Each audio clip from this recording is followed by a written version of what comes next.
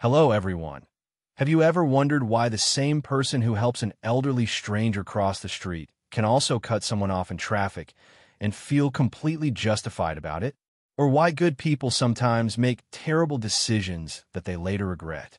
What if I told you that every single action you take, from the kindest gesture to the most selfish moment, can be explained by science? Welcome back to English as Fluent, where we break down life-changing books so you can read less and learn more in fluent English.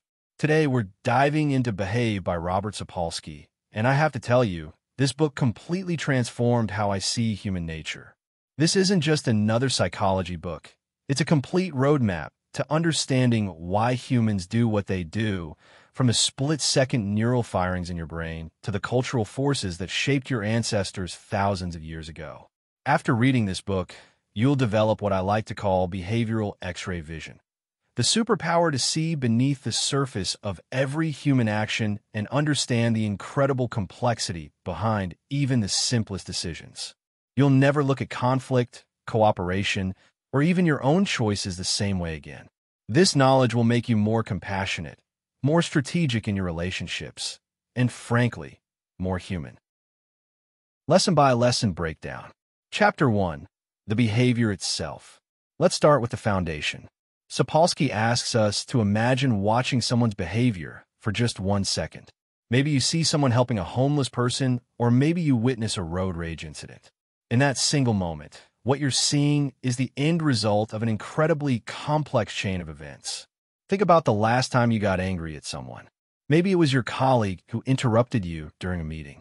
In that moment, you might have snapped at them, or maybe you held it in and gave him the cold shoulder.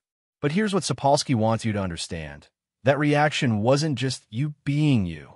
It was the result of your neurons firing, hormones flooding your system, memories from similar situations, and even evolutionary programming from our ancestors.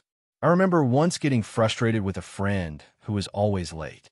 I used to think they just don't respect my time, but after understanding this book, I realized there were layers upon layers influencing both their behavior and my reaction. This shift in perspective changed everything about how I handle conflict. Chapter 2 One Second Before the Neurobiology. Now, let's zoom into what happens in your brain one second before that behavior occurs. This is where it gets fascinating.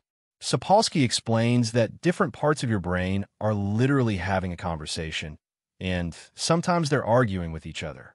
Your amygdala, think of it as your brain's alarm system, might be screaming danger. React now, while your frontal cortex, your rational thinking center, is trying to say, wait, let's think about this logically. The winner of this internal battle determines what you do next. Here's a relatable example. Imagine you're in a heated discussion on social media. Someone posts something you completely disagree with.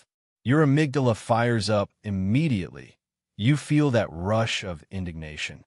But if your frontal cortex is strong enough, it might stop you from typing that angry response and instead help you choose a more measured reply, or maybe even just scroll past. The incredible thing is this entire neurological war happens in milliseconds, and most of the time, you're not even aware it's occurring. Chapter 3 Seconds to Minutes Before The Role of Hormones. But the story doesn't end with neurons. Let's step back a few minutes before the behavior and look at your hormones. Sapolsky introduces us to some fascinating characters in your endocrine system. Testosterone, for instance, isn't just about aggression like many people think. It's more about seeking and maintaining status. So when someone cuts in line in front of you, the testosterone surge isn't necessarily making you want to fight. It's making you want to maintain your position in the social hierarchy. Then there's cortisol, your stress hormone. If you've had a particularly stressful week at work, your cortisol levels are elevated, making you more likely to react strongly to minor irritations. Ever notice how small things bother you more when you're already stressed? That's cortisol at work. I experienced this firsthand during a particularly demanding project at work. I found myself getting annoyed at things that normally wouldn't bother me at all, like my partner leaving dishes in the sink. Understanding that my elevated stress hormones were influencing my reactions helped me recognize when I needed to step back and reset. Chapter 4 Hours to Days Before Neuroplasticity. Here's where the story gets even more interesting. Hours to days before your behavior, your brain is actually reshaping itself based on your experiences. This is called neuroplasticity, and it's one of the most hopeful concepts in the entire book. Sapolsky explains that every experience you have literally changes your brain structure. If you practice meditation regularly, you're strengthening the neural pathways associated with calm focus. If you frequently engage in arguments on social media, you're strengthening pathways associated with conflict and defensiveness. Think about someone in your life who seems naturally calm and patient. Chances are they've spent years, whether consciously or not, reinforcing neural pathways that support those behaviors. The amazing news is that you can do this too. Your brain is constantly rewiring itself based on what you repeatedly do and think. Chapter 5 Weeks to Months Before Learning and Memory. Zooming out further, we need to consider what you've learned in recent weeks and months. Sapolsky explores how our brains are constantly updating their threat detection and reward systems based on recent experiences. If you've recently had a bad experience with a particular type of situation, maybe a difficult conversation with your boss. Your brain files this away and influences how you approach similar situations in the future. This isn't conscious. It's your brain trying to protect you and help you succeed. For example, if you gave a presentation that didn't go well a few months ago, your brain might have learned to associate presentations with stress and potential failure. So the next time you're asked to present, your stress response kicks in before you even start preparing. Understanding this helped me realize why I was feeling anxious about situations that rationally I knew I could handle. Chapter 6 Adolescence and Early Adulthood. Here's something that will change how you see every young person in your life. The human brain doesn't fully mature until around age 25. Specifically, the frontal cortex, that rational, impulse controlling part we talked about earlier, is the last part to develop. This means that teenager who made a series of questionable decisions wasn't just being rebellious. Their brain literally wasn't equipped with a fully functioning brake system yet. Sapolsky explains that adolescents have all the emotional intensity and physical capability of adults, but with less impulse control and less ability to consider long-term consequences. I wish I had understood this when I was judging my younger cousin for some of his choices in college. Knowing that his brain was still developing would have made me much more patient and supportive rather than critical. Chapter 7 Childhood and Before The influences on our behavior reach back even further into childhood. The experiences you had in your first few years of life literally shaped how your brain developed. Children who experience consistent love and security develop different neural patterns than those who experience stress or neglect. But here's what's remarkable. Sapolsky emphasizes that this isn't about blame or making excuses. It's about understanding. When you understand that someone's childhood experiences influence their brain development, you can respond with compassion rather than judgment. Think about that colleague who seems to overreact to criticism. Instead of labeling them as too sensitive, you might recognize that their brain learned early on that criticism could signal danger or rejection. This understanding doesn't excuse inappropriate behavior, but it helps you respond more effectively and humanely. Chapter 8 Genetics and Evolution. Now we go even deeper to your genes and evolutionary history. Sapolsky explores how certain behavioral tendencies are influenced by genetic variations. Some people are genetically predisposed to be more sensitive to social rejection, others to be more adventurous or more cautious. But here's the crucial point. Genes are not destiny. They're more like volume controls on different aspects of your personality. Having a genetic predisposition toward anxiety doesn't mean you're doomed to be anxious forever. It just means you might need to work a bit harder to develop calm confidence. From an evolutionary perspective, many of our seemingly irrational behaviors make perfect sense. That tendency to gossip, it helped our ancestors form social alliances that were crucial for survival. That immediate distrust of people who look different from us, unfortunately, it was once adaptive for detecting potential threats from other tribes. Understanding these evolutionary influences doesn't justify prejudice or harmful behavior, but it helps us recognize these impulses for what they are ancient programming that we can choose to override with conscious effort. Chapter 9 Culture and Context The environment and culture you grew up in profoundly shape your behavior. Sapolsky shows how the same genetic predisposition can lead to completely different outcomes depending on cultural context.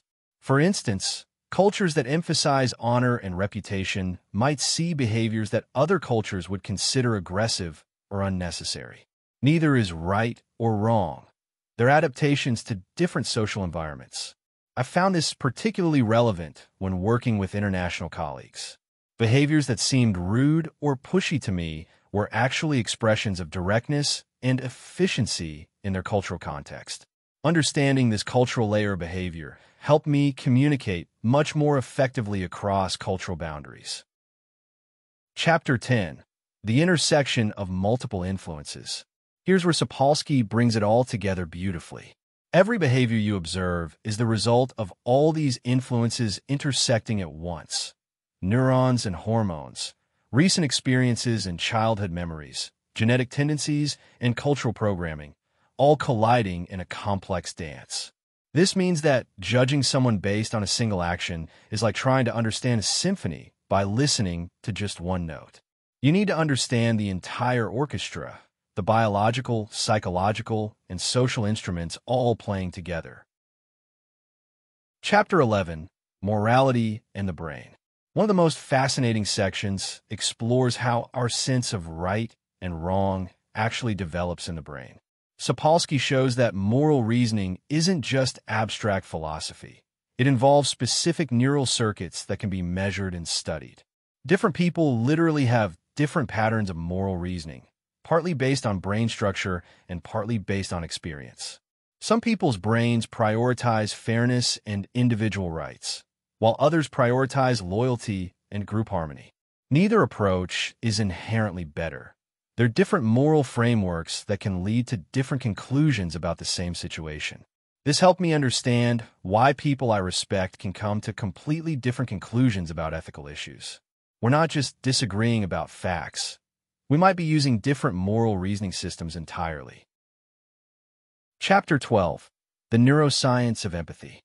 Empathy, it turns out, is far more complex than just caring about others. Sapolsky breaks down different types of empathy.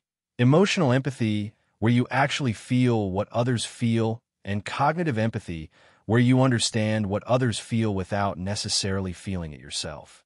Both types involve different brain circuits, and can be strengthened with practice. This is incredibly hopeful because it means that becoming more empathetic isn't just about being a good person.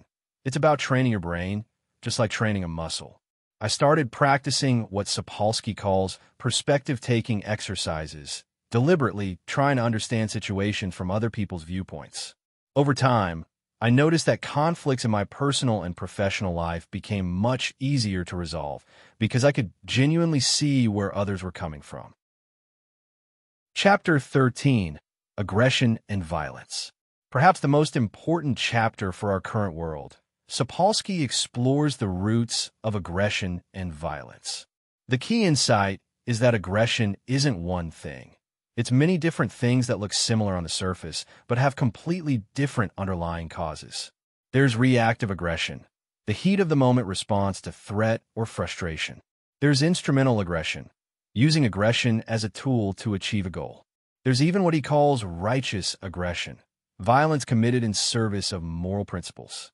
Understanding these distinctions is crucial because they require different responses. You can't solve all forms of aggression with the same approach. Some require better emotional regulation skills. Others require addressing underlying needs, and still others require challenging belief systems. Chapter 14 Hierarchy and Status Humans are incredibly sensitive to social hierarchy, often without realizing it. Sapolsky shows how much of our behavior is driven by our position in various social hierarchies and our attempts to maintain or improve that position. This isn't necessarily about money or formal power. It could be about being respected in your friend group, being seen as competent at work, or being valued in your family. These status concerns influence everything from how we dress, to how we argue, to how we help others. Recognizing when status concerns are driving behavior, both in yourself and others, can be incredibly liberating.